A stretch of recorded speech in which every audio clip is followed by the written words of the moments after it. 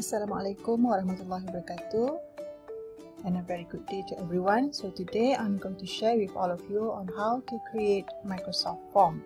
So first thing you have to open your Microsoft Outlook, okay? Then you click on the form here, okay? If you couldn't find the apps, the form listed in the apps, you can click all apps and search it from this uh, section okay so let's say I already click form and then I'm going to create one attendance form. Okay so to create attendance forms I'm going to use new form. So click this new form. Okay and then you're going to start fill up the form. I'm going to create a very simple um, attendance form. Okay by using only one question okay first I'm going to fill, uh, fill the title. So I'm just going to put the attendance. Form. Mm, let's say the class going to be on the 5th 5th May 2020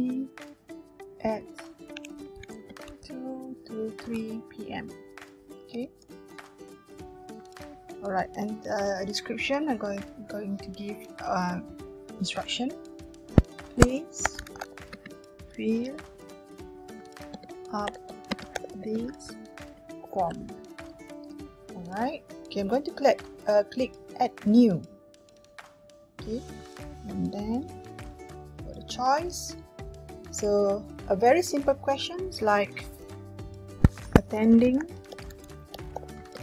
this class now okay you can put yes. And then the second option will be no. Okay don't forget to slide this button required. So because we want all the students to pick the answer before they submit the form. Okay?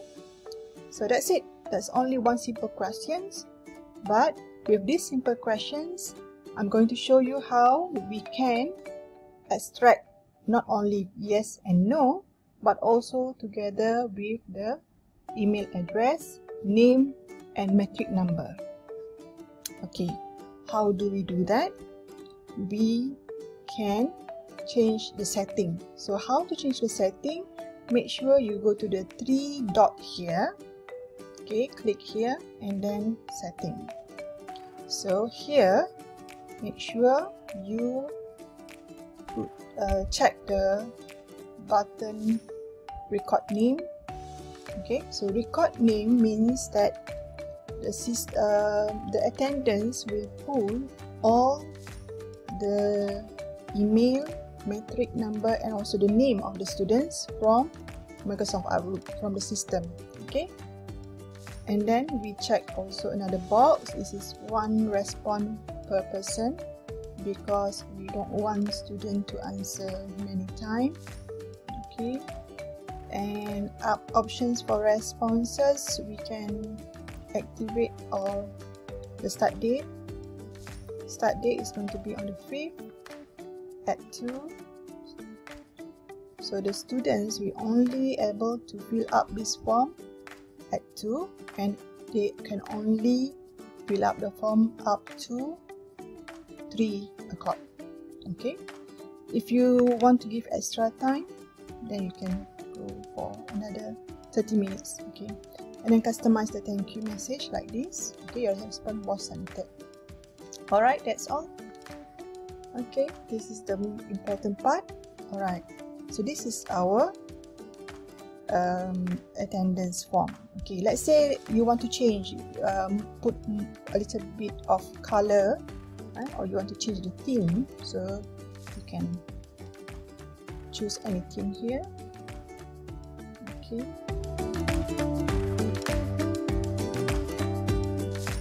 Okay, so you can preview how the form will look like. Okay, this is the form look like. The student click uh, the link okay later. Okay. Uh, this is the view if they're using the computer. Let's say if they're using the mobile you can click mobile then this is how it's gonna look like on their phone. Alright we go back. Okay. Uh, let's uh, decide on how we're going to share our attendance form. So click the button uh, click the menu share here. Okay. Uh, here we have two options send and collect response. Anyone with the link can respond or only people in my organization can respond. So let's say i'm going to choose only people in my organization can respond meaning that my students. Okay. So i'm if i would like to use the link so i'm just going to copy this link. I'm just going to press this copy button. Uh, let's say if I would like to use QR code then I click the QR code and I can download the file and maybe I can post it or paste it in my slide or I can share it in a WhatsApp or I can put it also in Teams yeah, as a post or in the chat. Okay we also can share our uh, form by embedded in any web page or you can email okay? So I'm going to do it as a link I'm going to copy here and then I'm going to open my Teams and then paste it in my Teams, my class under the post. I'm going to put it here. Okay so you can see that I already posted uh, in my Teams the link. Okay one simple tip you can shorten the link using another app that is called bit.ly.com okay but I think if you just want to paste um, like this also can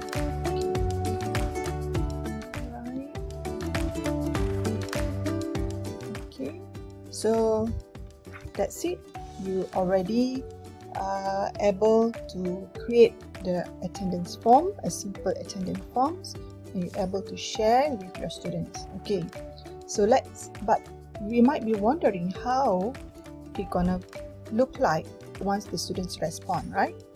Okay, I'm going to show you one example. Uh, remember earlier we said in the setting to is uh, the form can only be answered on the start and the start date okay on the 5th so we have to off this one for why because we want to test it right? Okay so I'm going to preview and then I'm going to answer yes. I'm going to submit okay you see the response here thanks. Okay I'm going to go back. And then I'm going to click the menu response here you see? There's one response already. And then you can see the result. Okay there's a chart here and a number. If you want to look at the details more details. Okay so you can see name and response okay remember earlier we did not ask for the name but because we checked the box about recorded name so it pulled from the system our name and also matric number. Due to me as a staff, not the students, so they didn't put any uh, staff number or matric numbers, okay? But if it's student, then you will get the email, the name as well as the matric. Okay, so if there are many students, then it will be listed all here. Alright, okay, if you want to download open in Excel, you can click this one. Alright, okay, I think that's all the sharing I hope you can try and then perhaps you have uh, other questions you of course you can always add another questions okay? So I think that's all my sharing today. Um, I hope that you can prepare one for your own class. All the best. Bye bye